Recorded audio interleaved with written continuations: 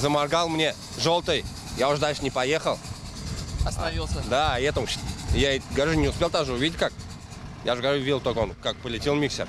Несмотря на серьезную разницу в весе машин, от удара легковушки многотонный миксер пролетел весь перекресток и опрокинулся на бок, аккурат у стен частной постройки, едва не разрушив ее. При этом протаранивший его минивэн получил на удивление легкие повреждения. Скорость у него километр 40-50 была здесь. Куда?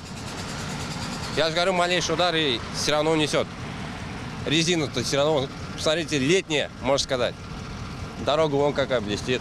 По словам очевидца, владелец легкового автомобиля признался, что пытался проскочить на красный, когда проезжал перекресток. Вот только водительского мастерства ему явно не хватило. Повезло, что в этом ДТП никто не пострадал. Водителя минивэна уберегли от травм подушки безопасности.